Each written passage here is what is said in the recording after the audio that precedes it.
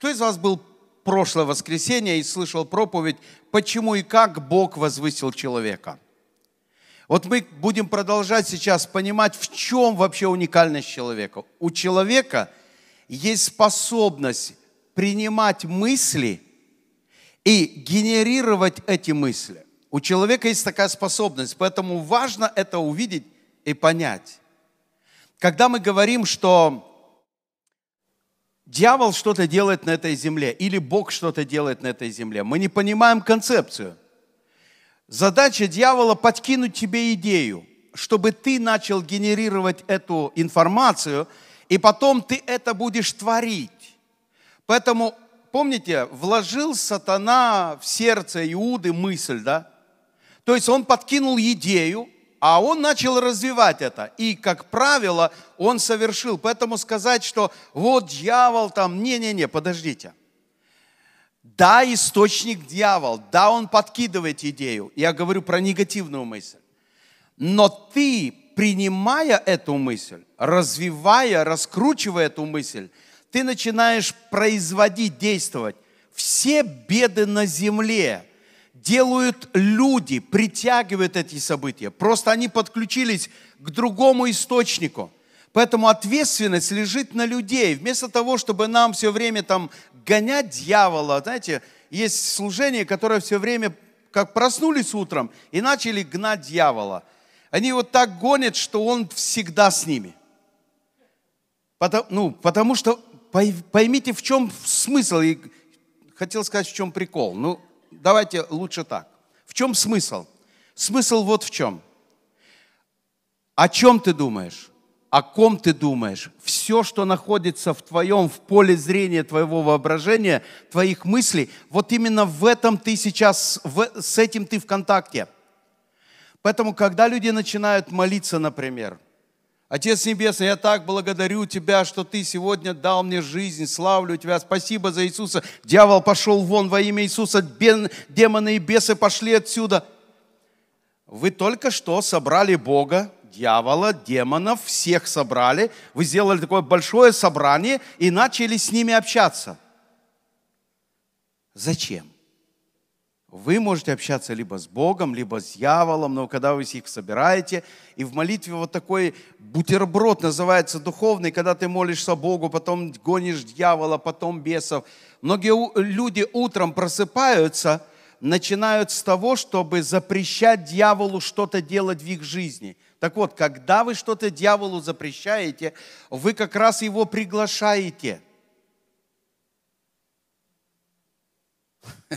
Я понимаю. Я вас понимаю прекрасно.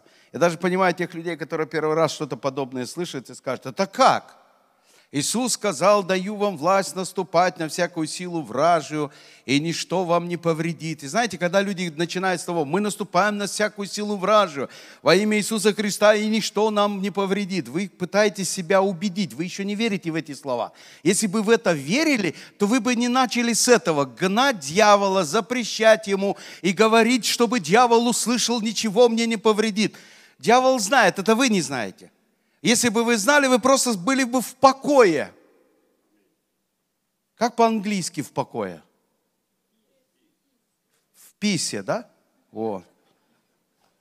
Просто в покое. Ну так, правильно? В покое. Сережа, правильно? Ты ж учитель. Вот, ну а что ты... В покое. Да, я поэтому, я поэтому переводчиков не беру больше сразу на двух языках проповедую. Нормально? Вот. Аллилуйя. Вот. Просто будь в покое. Просто в покое. Успокойся. Ты можешь быть в покое, когда ты ну, с Иисусом общаешься. Потому что Павел написал, чтобы ваше мышление – вы думали о том только то, что честно, что истинно, что справедливо, что добродетель, что похвала. Я дословно цитирую синодальный перевод. И когда вы об этом думаете, об этом помышляете, мир Божий прибудет с вами. Подождите. Когда вы думаете о том, что честно, о том, что справедливо, вы думаете о позитивных вещах, в этих позитивных вещах уже заложено Божье Божий мир и Божий покой. В этих позитивных вещах есть Божья энергия. И вы, думая об этом, вы заряжаетесь, вы подключились свой, свое сердце, вы подключили у вас, как это по-английски, чарджер, да? Вот, давайте. Во. Вот ты раз включил в розетку и заряжаешься. В розетке есть энергия. Главное, чтобы ты подключился к правильной энергии. Есть минус, есть плюс. И вот есть негативная энергия, которой ты думаешь, как от этого избавиться. Поэтому я хочу помочь вам сегодня. Поговорим на такую мысль, такую тему. Видите, вы знаете все это. Ничего нового для вас. Я повторю, кто из вас не знает, не знаю, не знаю, не знаю, знаете, что не знаете? Вот что. Сережа, ты на диете, по-моему, да? Да. Есть каша для желудка, есть каша для головы. Вот это, вот эта каша, которая для головы, от нее лучше избавиться. Ты можешь знать вкус каши, но от того, что ты не съешь очередную порцию утром, пользы никакой. Ты запах знаешь этой в каше. Тебе ничего нового. Вот ты знаешь, только называешь, какая каша, ты уже знаешь все, для тебя уже все знакомо, все понятно. Когда мы говорим благодатью укрепляйте сердца, ничего нового. Просто нужно постоянно это кушать. И когда ты кушаешь снова вот это благодатью, укрепляешь сердце, думаешь позитивно, когда ты это кушаешь, об этом размышляешь, на этом фокусируешься, смотрите, я вижу ваши лица, вы все сосредоточены. Я, я смотрю в ту сторону зала, там все на меня смотрят. Смотрю по центру, все на меня смотрят. Я пытаюсь сфокусировать вас прямо сейчас, чтобы мы это ели, сейчас кушали – то есть то, что мы знаем, это ни о чем. Кушать надо постоянно. Поэтому сколько говорить о благодати? Подожди, сколько ты будешь кушать ту кашу? Сколько ты будешь кушать вообще еду, бутерброды, картошку, что угодно? Сколько? Всегда будешь кушать. Если ты не будешь кушать, то и Сереги не будет. Кто-то другой скушает, и все. И все. Все просто. Зачем мне ходить в церковь? Зачем? Я-то знаю уже, я-то уже выучил это. Подождите, это не про это. Это про то, что каждый раз ты приходишь и получаешь энергию. И если ты пришел и ты получил, ты зарядился, то заряженный человек начинает сиять, начинает давать, начинает излучать. Вот тут самое интересное начинается. То, что имею, то и даю. А как иметь? Это надо сначала получить. Ты не можешь просто так то, что имел Иуда внутри себя, то и он отдал. То, что имел другой человек, то и дает. Иисус говорил, то, что имею, то и даю. Я имею жизнь вечную, поэтому и даю вам жизнь вечную.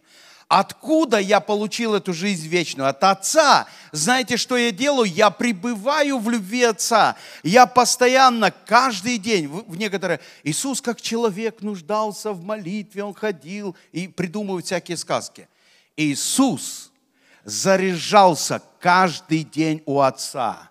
Я пребываю в Его любви. Он каждый день, он не думал о том, что дьявол его ненавидит, а он думал о том, что его Отец любит. Потому что когда ты думаешь одновременно, дьявол меня ненавидит, никто меня не любит, все плохо. Когда ты об этом думаешь, ты только что заряжался сейчас этой идеей, и поэтому у тебя такое состояние, у тебя это все плохо, ничего не получается. А еще и результаты какие. Потом, а сколько? Я просил, просил. Чего ты просил? Тебе надо научиться кушать правильно, питаться правильной информацией, питаться правильными мыслями. Еще одна очень важная деталь мы говорим много о словах. У меня есть несколько видео, называется «Ответ под, у тебя прямо под носом». Вот нос, и вот тут ответ находится на все твои беды и проблемы. То есть то, что ты говоришь, что и приходит в твоей жизни. Но некоторые люди научились сдерживаться, молчать, не говорить. Они так воспитаны. Американцы хорошо воспитаны, они ничего плохого не скажут. Но вот в чем проблема еще. Ты можешь пытаться не говорить плохо, но думать о плохом. Поэтому не только слова нужно поменять. Э, знаете, как слова э, слова, э, где сдерживание слов меняется. Спрашиваешь человека, как дела, он говорит, аллилуйя, все хорошо, good. Еще две минутки постоишь и начинает рассказывать, как дела на самом деле. Так вот, они начинают об этом рассказывать. То есть вы об этом думаете, поэтому слова вы не сможете удержать. И как только человек, человек думает, он заряжен жизнью, от избытка сердца начинают говорить уста. Сердце – это наше подсознание. А подсознание, поверьте, это, это, это, это то, что христианство вообще туда не залазит. Знаете, сердце – это подсознание. Они говорят про сердце просто как, как слово сердце. Веровать надо сердцем. Я тоже 20 лет назад задался вопросом. Я же верю, верю. А почему ничего не получается? У меня такая четкая, понятная мысль. Так веровать надо сердцем. А что такое сердце? А где мое сердце? Как мне понять? И вот тут Господь провел для меня экскурсию. И я уже тогда начал разбираться, что же такое сердце. Сердце – это твое подсознание. В сознании влетают как минимум 6 тысяч мыслей в день. Вы не сможете уследить все эти мысли. Вы не сможете даже, если вы зададитесь, о чем я думаю. Я знаю, о чем вы думали две минуты назад. А сейчас сколько мыслей влетают и вылетают. Вы не успеете проследить за всеми мыслями. Для этого есть Божий механизм внутри тебя. Это сердце, это как, как материнская плата, это процессор, который все, какие коды ты туда пишешь. А это ты пишешь туда эти коды. Есть два программиста. Один хороший, один плохой. Он подкидывает разные идеи, разные программы для жизни. Один для жизни, другой для смерти. Один для здоровья, другой для болезни. Один для богатства, другой подкидывает программу для нищеты. Но эти мысли, которые попадают в, в твоем мышлении, в твоем разуме, ничего страшного. Я хочу успокоить вас, ко всем хорошим людям приходят плохие мысли. Это не потому, что вы плохой, и к вам приходят плохие мысли, дурные идеи просто залетают. Нет, абсолютно нет. Вы, я скажу даже больше, вы очень хороший человек, поэтому к вам приходят дурные мысли. Короче, ко всем хорошим людям приходят дурные мысли. Но будете ли вы культивировать, понятное слово культивировать, то я просто из колхоза, я пытаюсь оттуда донести вам мысли. Понятно, что такое культивация? Есть вспашка, а есть еще культивация. Культивация разбивает более мелкие глыбы земли. Когда идет похота, это просто переворачивают землю. Так вот, я вначале, вначале, возможно, переворачивал ваши мозги, а теперь надо вспахивать. Так вот, вспахивать надо вам, а не мне. Вам надо сидеть и, спахивать, и, и делать культивацию. Так вот, это мелко-мелко-мелко разбивать. Хорошая почва, в нее только попадает доброе семя. Помните? Потому что вот в этой почве, где просто, или каменистая почва, там, где просто все натоптано, там попадает Слово Божие. Люди приходят в церковь, они слушают слова.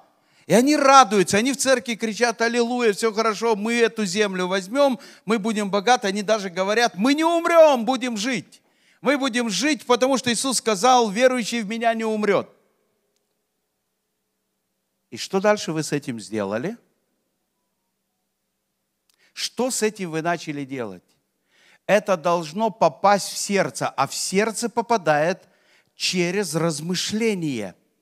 Смотрите, вы услышали, это не попало в ваше сердце. Я вам правду рассказываю. Вы просто услышали, вам просто показали, это на витрине сейчас. Вот оно просто выложено, и вы, это, вы еще это не съели. А когда вы начинаете, вы проглатывать и начинаете пережевывать, это я, я очень часто говорю – и едете домой, спросите один другого, как тебе слово, что тебе было понятно. О, вот эта часть мне была, а это непонятно. А давай, у нас есть возможность, давай еще раз включим сегодня вечером, во время обеда, мы еще поговорим об этом. Послушайте, обо многих вещах вы успеете поговорить. Поговорите об этом, чтобы это растворилось верою. Оно растворяется, когда ты об этом говоришь, когда ты об этом слышишь, и ты продолжаешь, продолжаешь, продолжаешь об этом говорить. Я заряжаюсь энергией тогда, когда кому-то рассказываю и сам получаю заряд. Потому что вера от слышания. Ты слышишь, и у тебя появляется вера, уверенность в этом. Вау, откровение. Начинай говорить кому-то. Начинай рассказывать кому-то. Выглядит, может быть, не совсем правильно. Я лучше там попробую, я лучше сам буду разбираться. Но начни культивировать. Итак, эта информация, ее нужно пережевывать, о ней нужно думать, размышлять. Я вам хочу сказать одну еще очень важную деталь. Когда вы размышляете над хорошей информацией, у вас будут хорошие чувства. Чувства – это как вкусовые рецепторы на нашем языке. Также в нашем мышлении, в подсознании есть чувства. Нам часто говорили богословы, что вера – это не чувство. Они были правы наполовину. Потому что вера – это не физиологические чувства. Но вера – это душевные, духовные чувства. И так мы входим в покой уверовавший. То есть, когда ты уверовал, у тебя есть чувство покоя. Это очень ощутимо. Правда же? Чувство переживания, волнения, страх – это ощутимо, ощутимо. Вы это переживаете. Да, это не на физическом уровне. Поэтому, когда говорили, когда тебя рука болит, но, а ты просто веришь, что ты исцелен. Поэтому вера – это не чувство. Они говорили про физические чувства, но некоторые из нас поняли, что вообще вера – это не чувство. Нет, у веры есть чувства. Поэтому по чувствам ты можешь понять, что находится в твоем сердце. Я хочу спросить вас, вы сейчас волнуетесь, переживаете, боитесь? Страх, уныние, разочарование. Пока я пытаюсь, я держу ваше внимание, я концентрирую на тех вещах, заинтересовав вас в этом, у вас нет того состояния – Откуда это состояние? От информации. И когда человек слушает в церкви, слушает, его так загрузило, что он не хочет встать, потому что даже уходить некуда. Лучше здесь я умру, чем там. Потому что его так сильно нагрузило. От чего загрузило? От чего это состояние уныния, разочарования, депрессии? От информации. Поэтому нужно научиться различать информацию. Как не различать? Очень просто. Я давно научился, когда человек говорит нежным голосом, очень правильные слова, а душок-то не тот. Внутри нельзя, подождите, можно красиво завернуть любую конфетку, можно любой продукт красиво упаковать, и вам кажется, что это просто лучшее из лучших, это органик, это самое лучшее, но стоит только положить в рот, и тут же сканер работает. Вкусное, не очень, соленое, спорченное, почти просроченное. Сто сразу в секунду, сто всяких результатов на языке. Притом у каждого.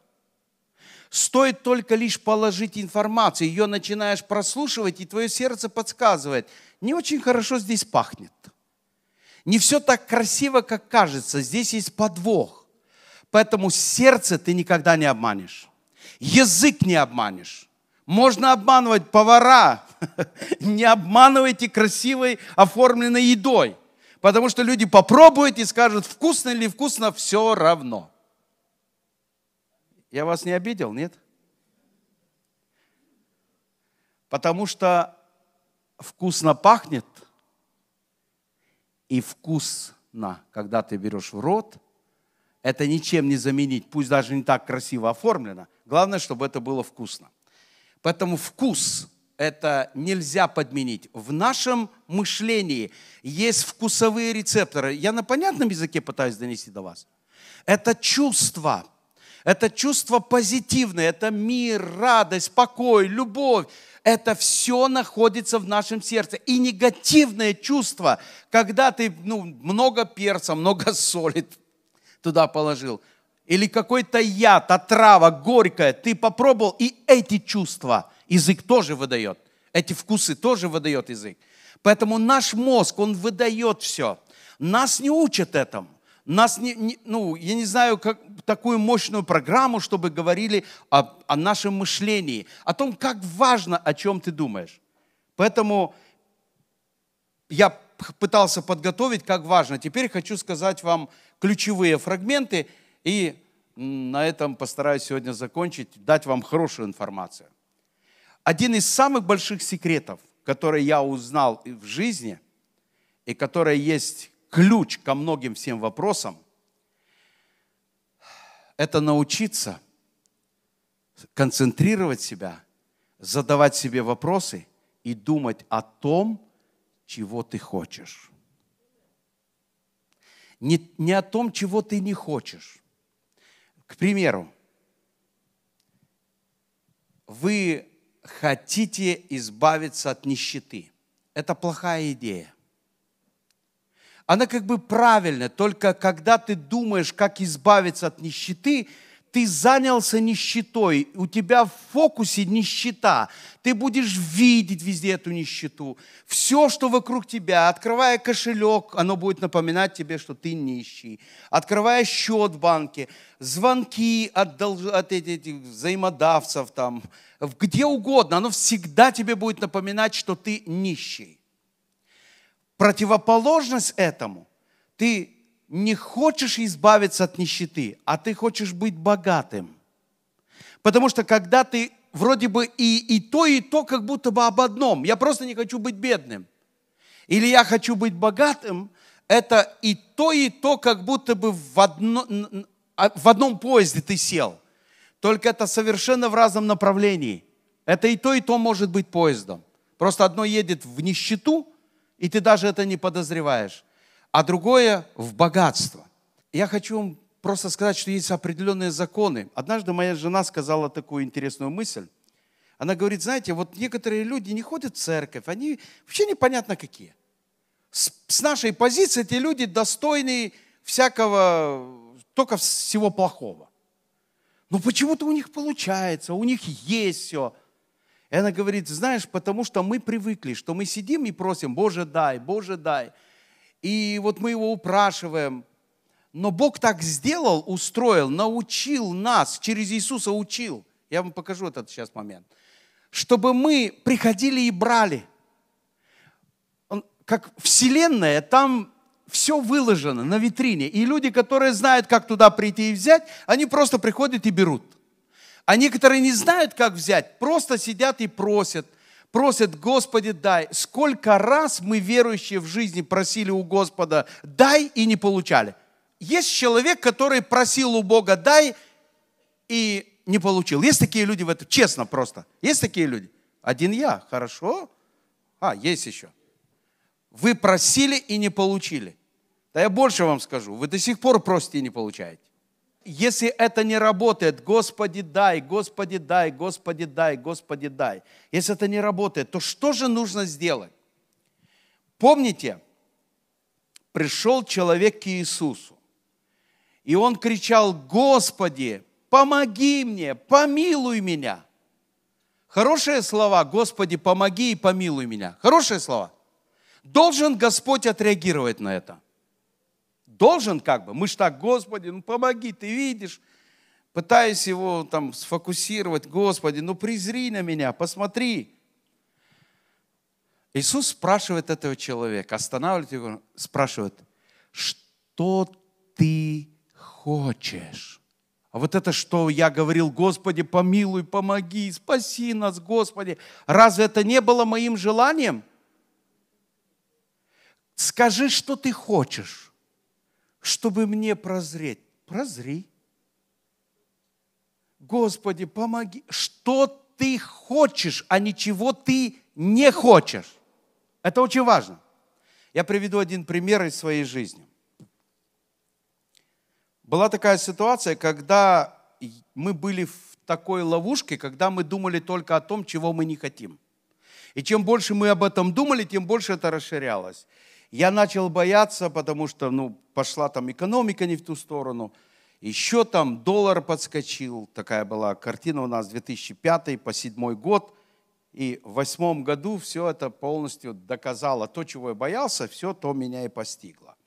И когда меня все это постигло, было много таких разных конфликтов, разных сложностей, что э, мы часто вспоминали Иова. Мы прямо жили книгой Иова. И потому что вот, вот только ему объявили, что там все кончено. И только объявили, ушел, и второй, опять звонок. Там тоже все. Там тоже все. Господи. И ты уже знаешь, куда еще идет, и ты ожидаешь, когда вот к последнему придет, и дальше пеплом посыпаться, и э, ждать, и проклинать свой день. Помните, что Йов делал? Проклинал свой день рождения, свое зачатие. Он лез аж туда, знаешь, чего угодно только не проклинал, и все такое. Так вот, э, у нас одно за другим вот так вот было. Так так случилось, что в этой всей суматохе мы задолжали. В банке у нас была там одна машина – Э, много чего там было, но одна машина была в банке, и мы не платили, не выплачивали кредит.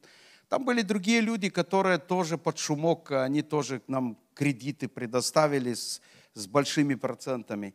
Ну, в итоге, короче, получилось так, что эти люди забрали машину и хотели, чтобы мы оформили на них там за какие-то проценты и тому подобное. И в то же самое время нам нужно было в банк тоже оплатить или вернуть эту машину. Так вот, мы получили в одно утро, мы получили аппойтмент в 9 часов оформлять машину на этих людей, а в 10 часов в этот же самый день мы в суд являемся, и банк требует предоставить нам эту же машину, чтобы мы, э, они забирают за погашение долга. Так вот, оказалось, что мы ехали туда на другой машине – и этой машины не было у нас уже. Ее нужно эту же самую машину в банк отдать, и эту же самую машину переписать на этих людей. И вот мы в этом состоянии едем с женой, ну, убитые, как, как, ну, вы можете представить наше состояние, да? Чего мы не хотим? Мы не хотим всего этого. А оно есть, оно прибавляется, умножается, развивается, развивается, развивается. И вот так прямо посередине дороги. На меня как гром такой. Бф. А вы чего хотите? Я подумал, что вот эти хотят забрать машину, и эти хотят. Как мне рассказать, распилить ее пополам? Как мне разделить эту машину? Потому что эти ее заберут, и эти хотят. Что мне отвечать? Я вот думал о всем этом негативном процессе. И такой вопрос мне простой очень тихий. Я знаю голос Господа. Он очень тихий, спокойно, он выделяется в среди всей суматохи, как будто бы ты на мусорке раз нашел что-то такое яркое, блестящее, чистое. Вот такая чистая и ясная мысль. Вы чего хотите? Я поворачиваюсь к Свете и говорю, Света, а мы чего хотим? Она такая сразу, что машина у нас осталась. Ух, такой мир пришел, покой. Мы едем туда, куда, откуда никто не выходит живым. Когда мы пришли в 9 утра на аппойтмент, чтобы переоформлять эту машину, ничего не получается. Они не могут оформить эту машину. Человек начал звонить по всем инстанциям, увольнять всех подряд. Эту же женщину из нотариуса, ты уволена. Короче, вот такие люди были, да? Всех убивают, чтобы все это сделать. Ничего не получилось. Один нотариус уволили, пошли в другой нотариус. Другой нотариус то же самое, ничего не могут сделать. Они не знают, почему они не могут переоформить. Короче, закончилось это тем, что ничего не получается, и мы пошли в 10 часов на суд. Мы приходим на суд, там несколько юристов из банка, они предоставили все, все доказательства, что мы все просрочили, мы, мы виноваты. Понятно, там мы это сами знали. Ничего не нужно было доказывать. И когда они закончили, рассказали, что вот на основании договора все просрочено. Мы, мы эту машину почти заплатили, но ее всю забирают, потому что у нас просрочки, мы не платим, платить нечем. Посреди всего этого судья обращается к этим трем юристам и говорит, а вы спрашивали этих людей, чего они хотят? Дословно она поворачивается к нам и говорит, а вы что хотите? Это же самые слова. Судья говорит. Я говорю, так мы хотим по возможности рассчитаться с банком, никому не быть должными, чтобы машина у нас осталась. Она как начала на них орать, это вам все время вот так надо, чтобы вы давили на людей, дали им кредит, потом за ними ходите, забираете все имущество у людей, дайте людям жить, дайте людям шанс. Почему это, короче, грузила их, она ударила молотком и сказала, все, я даю вам возможность, сколько вам надо времени? Я говорю, «Ну, может быть, 3-4 месяца, у нас все будет хорошо, все, все. И закрылся вопрос. Мы вернулись оттуда, и через какое-то время эти же, которые хотели машину, вернули нам машину. Что вы хотите? Я вам один только пример привел. Из того, что вокруг ничего невозможно, это, не, это даже в голову не могло прийти, чтобы мы этого захотели. Но Бог учит нас, чтобы мы научились говорить свои желания Богу говорить свои желания, чего ты хочешь. И один простой вопрос. Чего ты хочешь сегодня? Где у тебя были пробелы, когда ты видел, у некоторых уже улыбаются, да, вы чего много-то хотите, правда же? И вы думаете, что э, э, надо первым успеть, потому что разберем, и не останется ничего на рынке. Дефицит будет этих желаний. Ничего подобного. Это люди думают так. Но на самом деле Бог богатый. И у нас есть богатое воображение. Включай свои воображения. Начинай хотеть то, что ты хочешь. Поэтому научись концентрироваться так, не то, чего я не хочу. Есть отрицательное желание, а есть позитивное желание. Одно и то, как будто бы об одном и том же. Я, я э, хочу похудеть, да, или я там хочу постройнеть или я не хочу быть толстым. Чего ты хочешь, а нет чего ты не хочешь. Потому что когда ты концентрируешься на том, чего ты не хочешь, именно это приходит в твою жизнь. Вот этого Иова, которое мы вспоминали во всех своих бедах, там начинается все очень просто. Иов был хороший человек, и у него были дети, которые жили, все хорошо у них было. И к нему пришла дурная мысль, Послушайте внимательно, богословы, пересмотрите. Пусть, я, я знаю, что это похоже на легенду, там, это вся книга Иова. Оставьте этот вопрос в сторону. Просто смотрите на реальность. В любой ситуации, в вашей жизни также пишется какая-то священная книга. Поэтому посмотрите, там пришла такая идея. Вот мои дети гуляют на празднике, пьют немного вина или много, И вот когда они там напьются, они могут похулить имя Божие, а когда они похулят имя Бога, они умрут. Как вы думаете, откуда пришла эта идея? Вот представьте, Бог отец, я отец. Переводим на мою ситуацию. И мои дети, они там по-своему там развлекаются, отдыхают. И вдруг они в какой-то момент могут похулить папу. А если похулят папу, что-то скажут против папы или подумает что-то не так, папа их грохнет сразу. Вам подходит такая идея? Откуда пришла такая идея, что если ты что-то подумаешь в адрес Бога не так или скажешь тем более, то ты сразу умрешь? Откуда пришла такая идея? Кто посеял такую идею?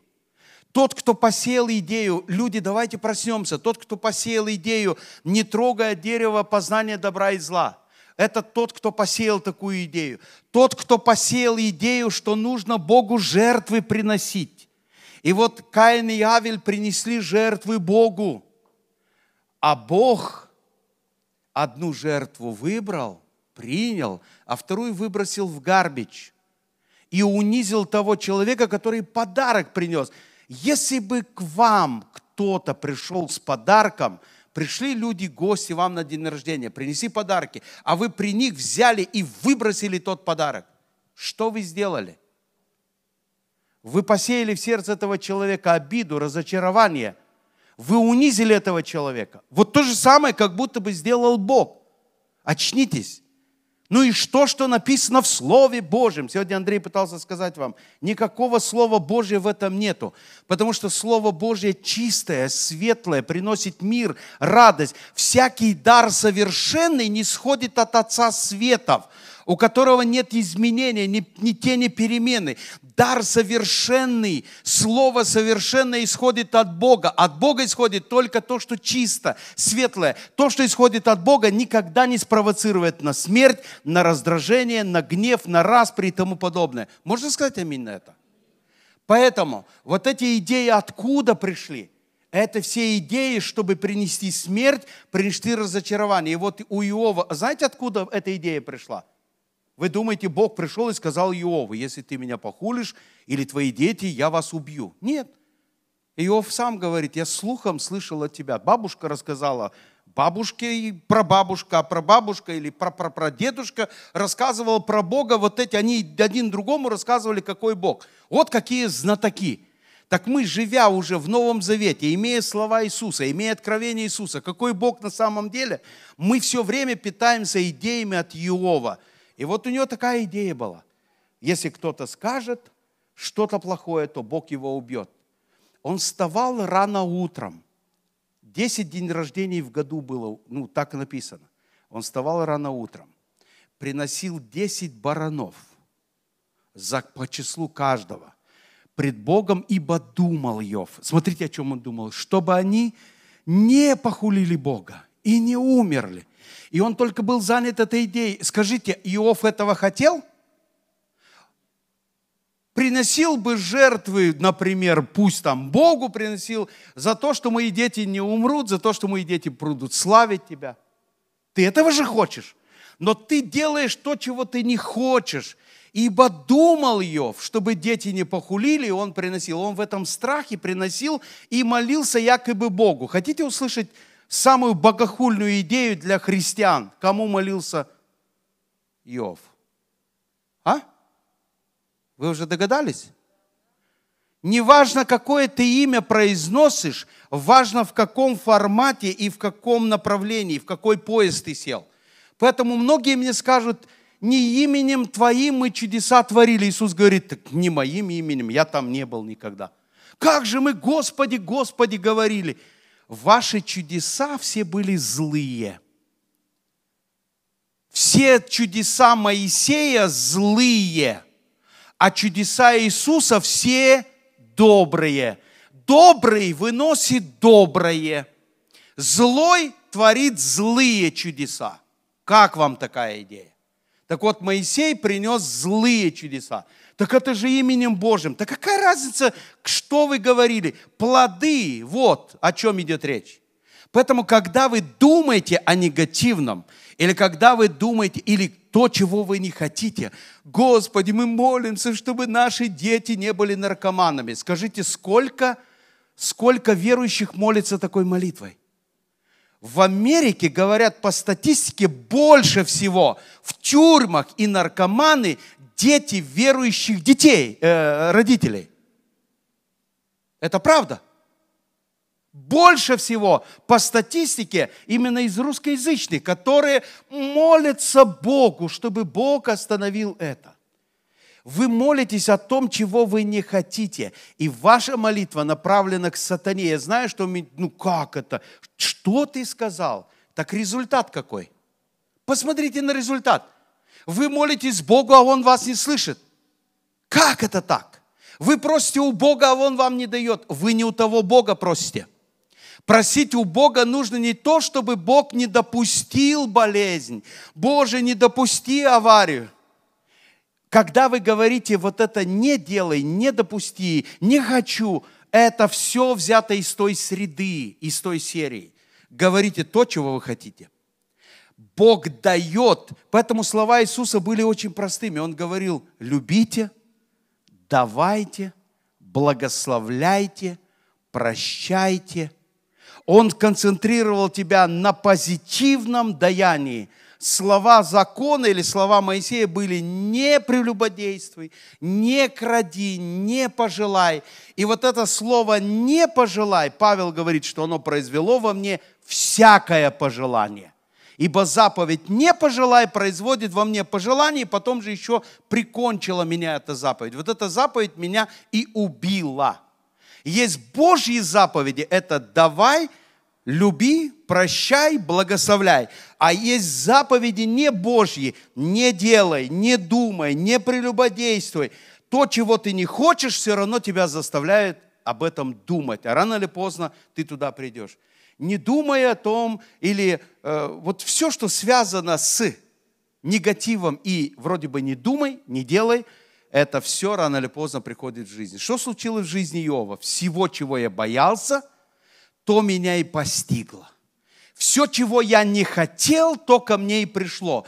Поэтому, когда ты выйдешь в понимание э, мышления твоего, твоего разума, ты вот что поймешь. Там нету хочешь или не хочешь. Все, о чем ты думаешь, все это придет. Поэтому, когда то, чего ты не хочешь, и о нем думаешь, именно это и придет в твою жизнь. Говори, чего ты хочешь. Думай о том, чего ты хочешь, чего ты на самом деле хочешь. Скажите, я был понятен до сих пор?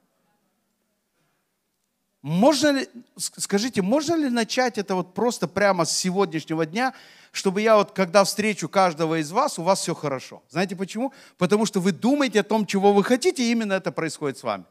Можно ли довериться, что это начнет работать с сегодняшнего дня? Вот вы не пожалеете, что вы были на этом собрании, вот думайте, что вы хотите, чего вы на самом деле хотите. Потому что если вы думаете о том, чего не хотите, о том, чего хотите, человек с двоящимися мыслями ничего хорошего не получит. Потому что 50 на 50 смешание – это ни о чем. Это равно ноль. Закон плюс благодать равно закон. Все равно. Поэтому вам нужна только чистая благодать. А благодать – это благо, благое даяние. Когда ты слушаешь Иисуса, его, его направление, тебе приходит радость, все хорошо, Бог любит меня, появляется надежда. Как только появляется закон или появляется вот этот закон негатива на самом деле, он начинает добивать. Поэтому, друзья, так много, я даже не успел ничего открыть, показать вам, но так много хочется донести. Просто уловите простой момент. Я думаю, а когда ты думаешь, ты все равно об этом будешь говорить, и ты там окажешься. Хотел привести вот один еще пример, вот такой. Мы жили в апартментах. Нам надоело жить в апартментах. Кто живет в апартментах? Есть такие люди? Если вам надоело, скажу, что надо делать. Нам надоело, но мы хотели какой-то дом переехать. Ну, это два раза больше цена а денег столько, сколько заплатить за апартмент. А как поверить в то, что ты можешь переехать в дом, а там цена в два и даже чуть больше раза? Ну, один месяц попробуем подтянуть как-то, второй, а вообще там заключить договор. И все это начинает пугать. Это все то, чего мы не хотим. И мы об этом думаем. Мы начинаем думать, почему это невозможно. Однажды я сказал уже, мне на все надоело, говорю, ребята, давайте, ищите там, открывайте эти все сайты, ищите какой-то дом. В Вене самый активный у нас. А детям что? Они думают, сколько это стоит, сколько не стоит. Он выбрал дом, который ему нравится. Который ему нравится. Дом большой, новый, красивый. И он все там проверил, ему все нравится. Он приходит, говорит, папа, вот этот дом – Папа в шоке. Когда папа открыл, сколько он стоит, он стоит почти 4 тысячи. В апартментах полторы или 1600 мы платили. Как можно это вообще принять к сведению? Я сразу, чего я не хочу. Я не хочу остаться должным, я не хочу одалживать, я не хочу э, оказаться вот таким, я этого не хочу, не хочу, поэтому оно как-то сразу не сработало. Веня приходит и говорит, папа, ну что, берем? И я тогда переключился, у меня вот что. А как мы учим детей верить? Мы сами не верим. Я говорю, Веня, а давай попробуем, поверим. Если у нас получится этот дом взять в аренду, значит, у нас может получиться потом такой дом себе купить. Потому что маленькие шаги в вере, то, чего мы хотим, это получается, это поможет. Потом позвонил мне один человек, я ему рассказал свои переживания, свои вот эти все ожидания непонятные. И он говорит, так бери. Борись за это, пробуй, давай. Тут Веня говорит, папа, давай, и этот человек давай. И я тогда переключился. Мы попробовали, и у нас это получилось. У нас получилось, мы сняли этот дом. И каждый раз, когда мы заговорим о чем-то, я вспоминаю, и у нас разговор с Веней. Вень, ты помнишь, как ты просто сказал, я хочу, и у нас получится, и у нас получилось. Теперь у нас может следующее получиться? Да. Почему нет? Что удерживает нас? Нас удерживает негативная сторона этого. И еще один ключ, который помог нам. Простите, что я сегодня ничего из Библии не читаю, из своей Библии читаю. Хорошо? Потому что мы эту Библию всю знаем про Иова, а вот наша реальная жизнь, чтобы в нашей жизни, вот я очень хочу, чтобы каждый из вас вышел и рассказал что-то подобное. У вас есть такие ситуации? Полно таких. Наша проповедь, мы должны прийти и вдохновлять друг друга. Друг мой, брат мой, я в этой стране, я здесь, я приехал, у меня ничего не было, и у меня получилось. У тебя получится? Почему? Потому что я вот думал об этом, я, я понял одно, а, а другой говорит, а я это понял. И это вот это живая проповедь. Все остальное это просто открываем, как было у Иосифа, как было у Давида. И все проповеди про Давида и про Иосифа. Может, пора про сыновей Божьих, современных, про нас? Может, пора в силу благодати и, и нашего Господа Иисуса Христа проповедовать в нашей жизни? Потому что проповедь это не то, что мы взяли из Библии, а то, чем мы живем на самом деле – Потому что я знаю, что такое быть в осуждении, я знаю, что такое жить во грехе, будучи верующим, будучи пастором, почти епископом стал. И я знаю, что такое получить полную свободу и жить и наслаждаться жизнью без всякого осуждения, без всякого греха вообще. Поэтому, когда мы просто цитируем Библию, а сами понятия не имеем, этого у нас раздвоение личности – Поэтому давайте говорить то, что у нас есть. Маленькие победы, они ведут к большим победам. Как это происходит? Я хочу, я думаю то, о чу, то что я хочу. Переключись, пожалуйста. Я уже заканчиваю, честно. Переключись, пожалуйста. Чего ты хочешь на самом деле? Когда мы думали о том, что у нас не получится – я могу рассказывать, как мы в Америку попали. Это вообще было невозможно, реально невозможно. Но как мы попали в Америку, это вообще, это потом мы сделали анализ, как мы к этому пришли. Мы просто, вот сейчас, вот э, что такое декабрь? Декабрь это подведение итогов.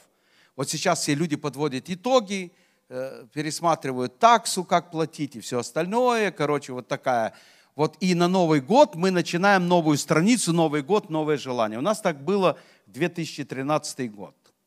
И что мы хотели? Я не знаю, почему у меня просто прямо на Новый год пришло такое понимание, желание сказать, в этом году мы поедем в Америку. Как поедешь ты в Америку? Долги на долгах. Четыре банка подали на запрет на выезд из страны, которую мы должны отдельно суд с налоговой. И мы как будто, ну реально, мы как бы не видели, что мы вообще в чем-то виноваты. Но мы в этой ситуации.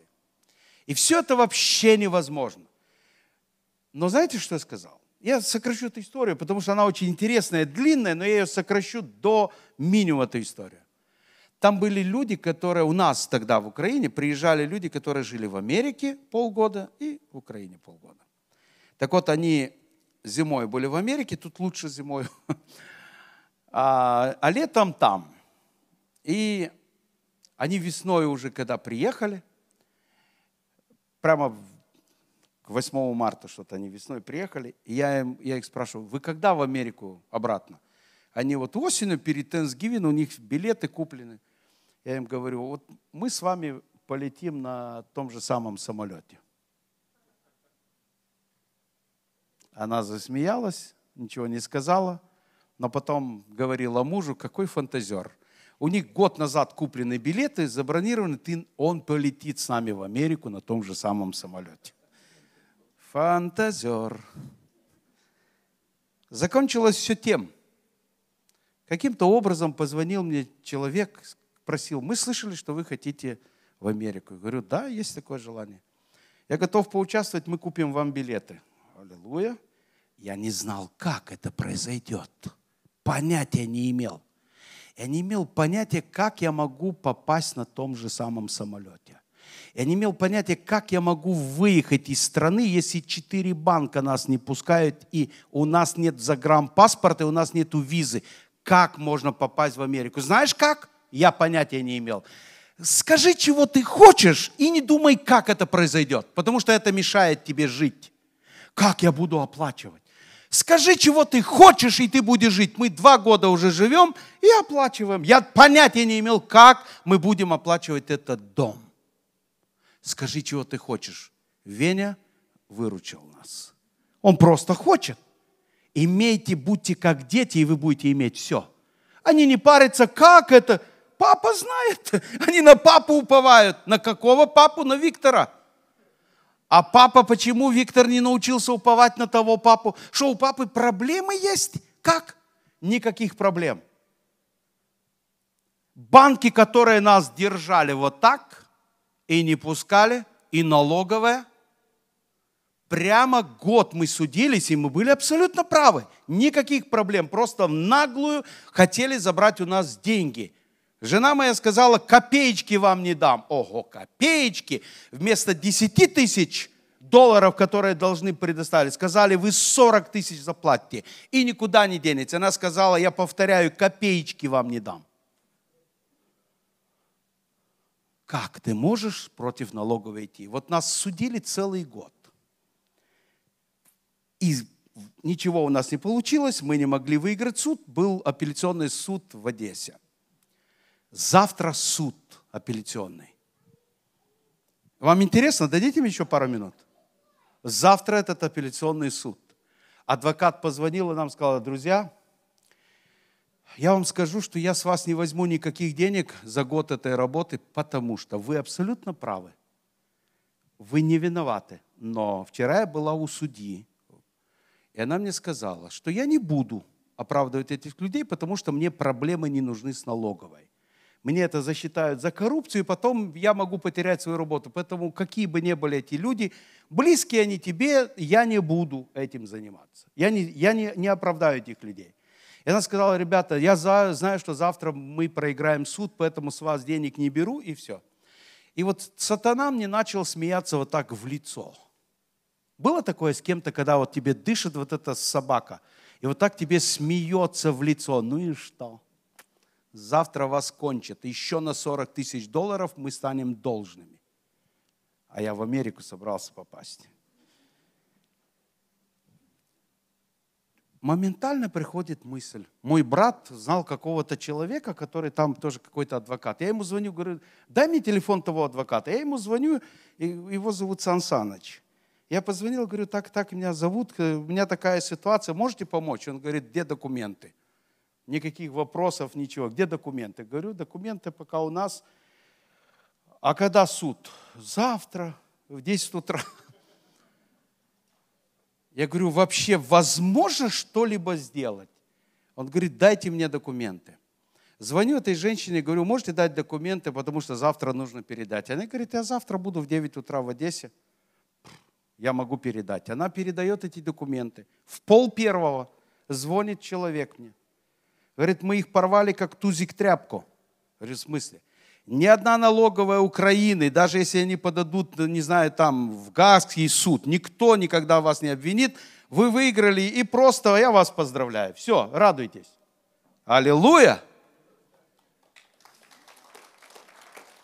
Как? Как может произойти? Скажи, чего ты хочешь. Вы ничего не получите, мы не виноваты. Мы имеем то, что мы имеем, и никому ничего не дадим. Скажи, чего ты хочешь. Я спрашиваю его, слушай, есть такой банк, который достает. Мы брали 50 тысяч, они нам накидали пеню 3,5 миллиона. Вот куда мы должны были всем людям. Вот такие были у нас, попадались. Как? Мы вернем 50, плюс, может, еще 50. Но 3 миллиона с половиной. За что? Он говорит, какой это банк? Я говорю, называю банк, он говорит мне, ну, прямо, на, как его послать если кто-то будет тебе звонить. Говорю, а что? Они давно обанкротились, они продали, продали коллекторам вашу информацию. Вот эти все, кто звонят, они просто душат вас. Успокойтесь, вы никому не должны. Аллилуйя! Следующий день банк звонит с, с Киева, мне звонят. Вы Виктор? Говорю, да, я Виктор, он есть самый.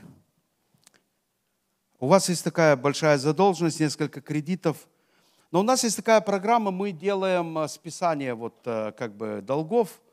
Э, у нас есть такая программа, и мы выбрали именно вас. Я говорю, Господи, сколько лохотронов. вам нужно заплатить часть только вот на этот счет, и все долги с вас спишутся. Ну, короче, там было больше 50 тысяч долларов списывают, нам нужно просто заплатить 800 долларов, грубо говоря, приблизительно так. Лохотрон? Ну да или нет? Лохотрон. То первое, что я подумал, мне показало. Но какой-то внутренний голос мне говорил, Виктор, вот это сделай и не переживай. Господи, я же всегда так вот делал и не переживал. И всегда меня дурили. И он настоял, этот голос. Я взял, позвонил и сказал, хорошо, я найду эти деньги, я заплачу. Я пошел в это отделение местное и сказал, и мне позвонили и сказали, такого не может быть. Тебя разводят, так не бывает. Говорю, вот телефон официальное отделение с Киева этого банка. Этот банк вообще австрийский.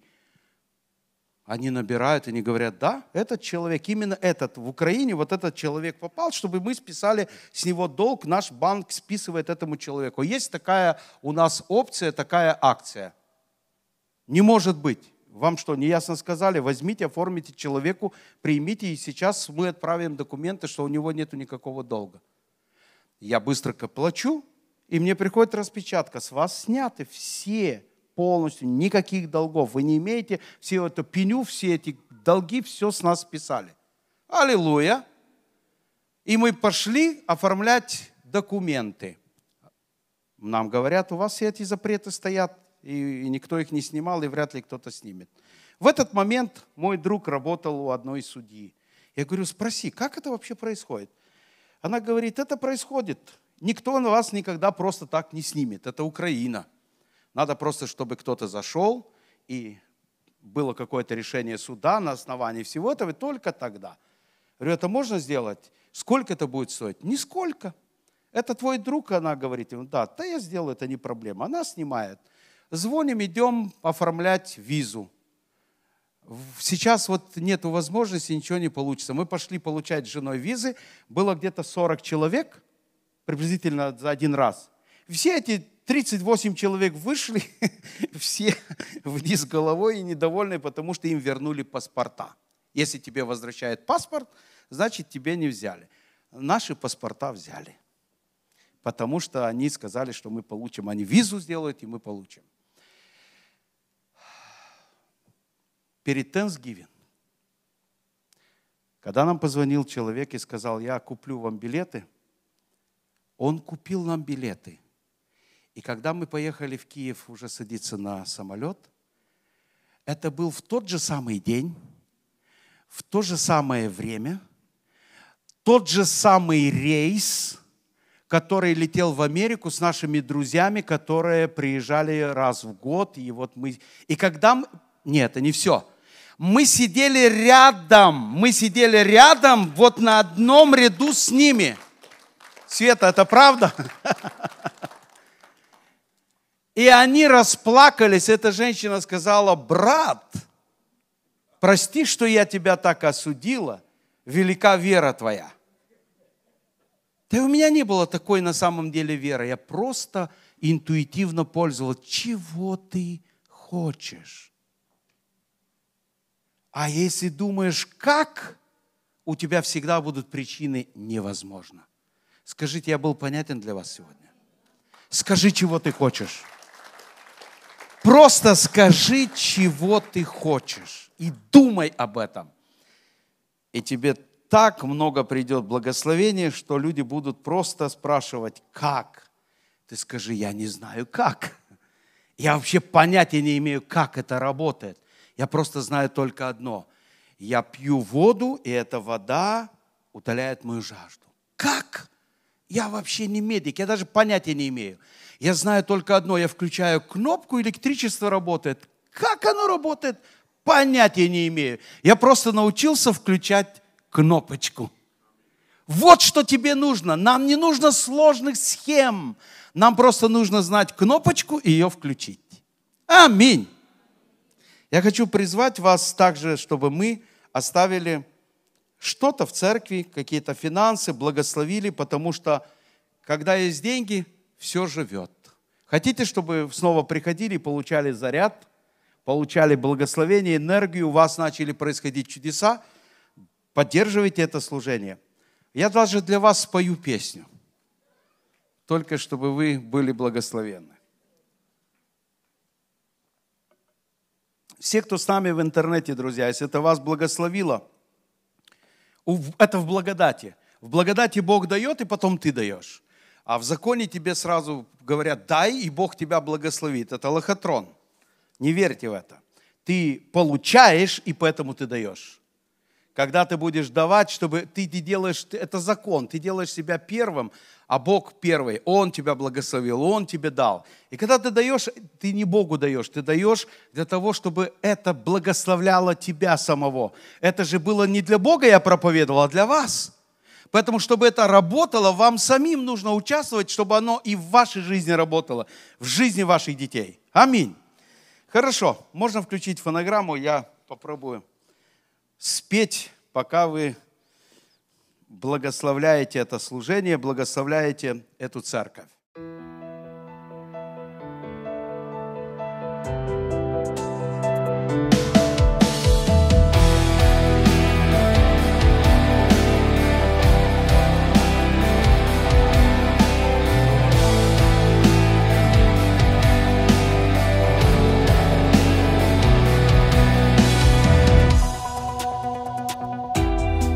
Часто в своей жизни ошибался.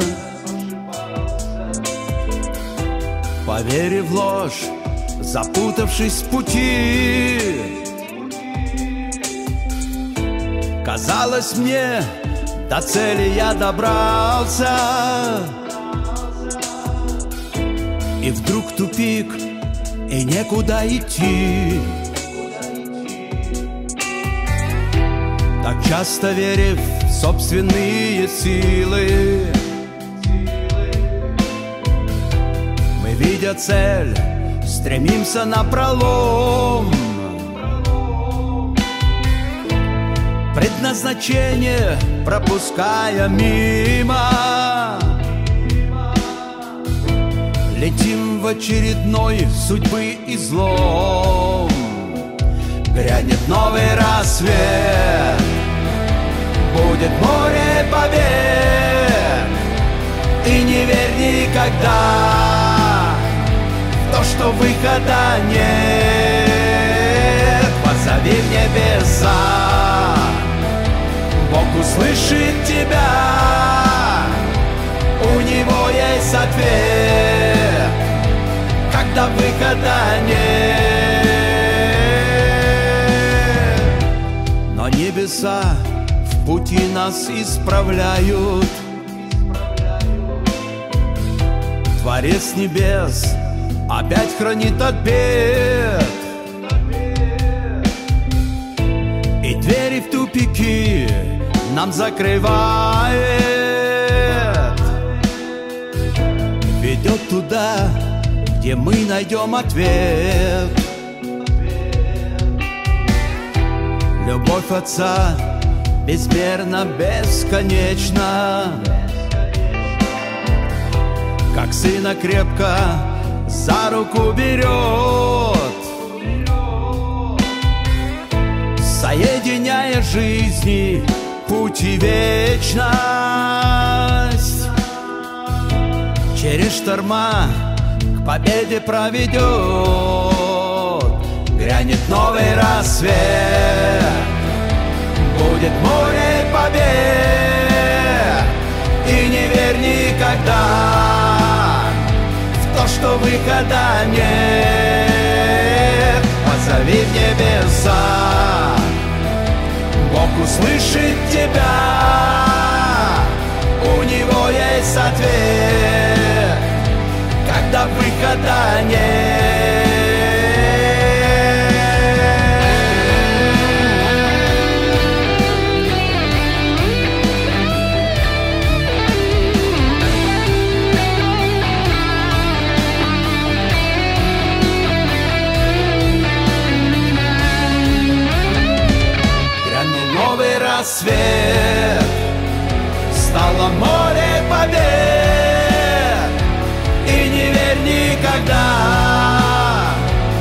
что выхода нет.